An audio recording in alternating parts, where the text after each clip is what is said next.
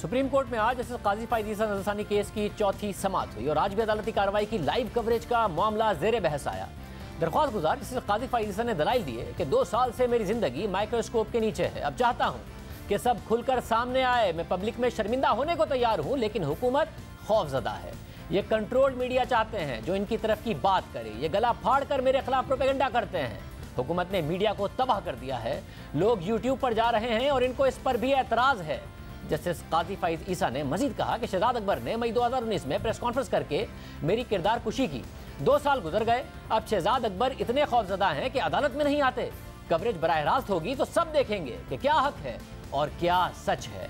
इस दौरान जस्टिस मंसूर अली शाह ने रिमार्क दिए कि अदालती कार्रवाई में कुछ भी खुफिया नहीं होता। सुप्रीम कोर्ट इस मुल्क के अवाम की अदालत है। गवादर में बैठा शख्स अदालती कार्रवाई देखना चाहे तो कैसे रोक सकते हैं? शुतरमुर्ख की तरह गर्दन ज़मीन में देकर बैठे रहने का फ़ायदा नहीं है।